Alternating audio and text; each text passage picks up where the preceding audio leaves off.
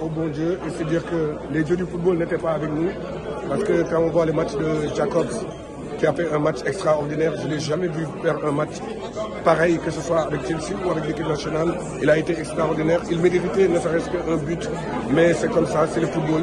Mais je crois que le plus important, c'est qu'on va avoir un championnat passionnant, passionnant et surtout, surtout, surtout, euh, c'est à la fin du bal comme les musiciens. On va aller en Mauritanie en étant sérieux, euh, ne pas dire que euh, on est devant eux au classement mondial ou africain, euh, être sérieux, faire un match qu'il faut pour essayer d'avoir les